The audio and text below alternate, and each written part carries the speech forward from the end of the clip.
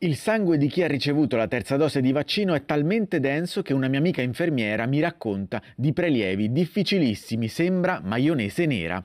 Questa è solo una delle tante bufale che circolano su internet, notizie non vere che puntano a screditare i vaccini, tanto che la Croce Rossa italiana ha dovuto smentire le falsità che stanno circolando nei gruppi Novax relative al fatto che gli ospedali starebbero buttando il sangue dei vaccinati e che il contagio da coronavirus avverrebbe avverrebbe anche tramite le trasfusioni. Questo non è assolutamente vero, non c'è nessun rischio relativo alla coagulazione delle sacche di sangue dei cittadini vaccinati, non si trasmette il coronavirus attraverso la donazione di sangue. Qui siamo nel centro donazione del Bambin Gesù. La vita di molti piccoli pazienti dipende da questi donatori. In questo ospedale vengono eseguiti tutte le tipologie possibili di trapianti d'organo e quindi si tratta di interventi chirurgici per i quali avere la possibilità di una scorta di sangue per fare in modo che l'intervento possa essere eseguito è essenziale.